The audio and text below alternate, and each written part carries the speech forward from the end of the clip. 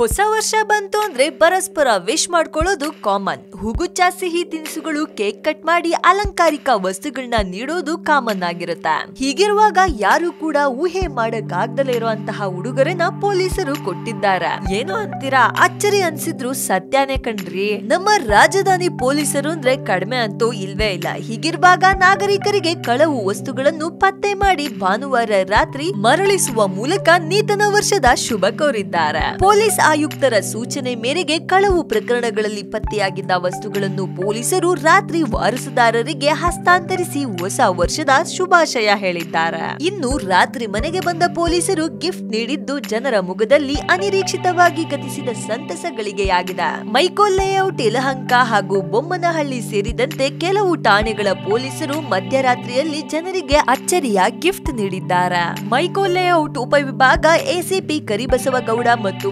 ಬೊಮ್ಮನಹಳ್ಳಿ ಠಾಣಾ ಇನ್ಸ್ಪೆಕ್ಟರ್ ರಾಜೇಶ್ ಅವರು ಬೊಮ್ಮನಹಳ್ಳಿಯ ನಂದಕಿಶೋರ್ ಮನೆಗೆ ತೆರಳಿ ಎರಡು ಲಕ್ಷ ರು ಮೌಲ್ಯದ ಐವತ್ತು ಗ್ರಾಂ ಚಿನ್ನದ ಸರವನ್ನು ಮರಳಿಸಿದ್ದಾರೆ. ನಂದಕಿಶೋರ್ ಅವರ ಪತ್ನಿ ಗಾರ್ಮೆಂಟ್ಸ್ ಉದ್ಯೋಗಿಯಾಗಿದ್ದು ಕೆಲ ತಿಂಗಳ ಹಿಂದೆ ಅವರ ಮನೆಯಲ್ಲಿ ಪರಿಚಯಸ್ಥ ಯುವಕ ಚಿನ್ನಾಭರಣ ಕಳವು ಮಾಡಿದ್ದ ಈ ಪ್ರಕರಣವನ್ನು ಪತ್ತೆ ಹಚ್ಚಿದ ಪೊಲೀಸರು ಆರೋಪಿಯಿಂದ ಚಿನ್ನದ ಸರ ವಶಪಡಿಸಿಕೊಂಡಿದ್ರು. ನಂತರ ಆಗ್ನೇಯ ವಿಭಾಗದ ಡಿಸಿಪಿ ಡಾಕ್ಟರ್ ಎಂಬಿ ಬೋರಲಿಂಗಯ್ಯ ಸಲಹೆ ಮೇರೆಗೆ ಎಸಿಪಿ ನಂದಕಿಶೋರ್ಗೆ ಭಾನುವಾರ ರಾತ್ರಿ ಕರೆ ಮಾಡಿದಾಗ ನಡುರಾತ್ರಿ ಯಾಕೆ ಕಾಲ್ ಮಾಡ್ತೀರಾ ಅಂತ ಕಾಲ್ ಕಟ್ ಮಾಡಿದ್ರು. ಮತ್ತೆ ಕಾಲ್ ಮಾಡಿದಾಗ ರಾಂಗ್ ನಂಬರ್ ಅಂದ್ರು. ಕೊನೆಗೆ ಮನೆಗೆ ತೆರಳಿ ಚಿನ್ನದ ಸರ ನೀಡಿದಾಗ ಆನಂದ ಹೇಳತಿರದಾಗಿತ್ತು ಅಂತಾರೆ ಪೊಲೀಸರು. ಇಷ್ಟೇ ಅಲ್ಲದೆ ಹೊಸ ವರ್ಷವನ್ನು ಯಾವುದೇ ತೊಡಕುಗಳಿಲ್ಲದೆ ಆಚರಿಸಲು ಅವಕಾಶ ಕಲ್ಪಿಸಿಕೊಟ್ಟ ಪೊಲೀಸ್ ಇಲಾಖೆಗೆ ಸಾರ್ವಜನಿಕರು ಬೆಂಗಳೂರು ನಗರ ಪೊಲೀಸ್ ಇಲಾಖೆಗೆ ಟ್ವೀಟ್ ಮಾಡುವ ಮೂಲಕ ಕೃತಜ್ಞತೆ ಸಲ್ಲಿಸಿದ್ದಾರೆ. ಆ ಟ್ವೀಟ್ಗಳೇನಂತ ನೀವೇ ನೋಡಿ.